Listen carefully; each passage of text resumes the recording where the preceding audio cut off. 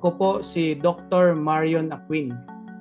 Isa po akong ENT Head and Neck Surgeon ng Eastern Visayas Medical Center. Ang pag-uusapan natin ngayong araw ay ang sensory neural hearing loss. Ito ang pagkabingi dahil sa damage o pinsala sa ating hearing nerve o ang ugat ng pandinig. Ang mga ilan sa mga sanhi ng pagkakaroon ng sensory neural hearing loss ay ang mga sumusunod. Una, ang pagkakaroon ng chronic otitis media o ang matagalang infeksyon sa tenga. Pangalawa, ang pagkakaroon ng viral infection.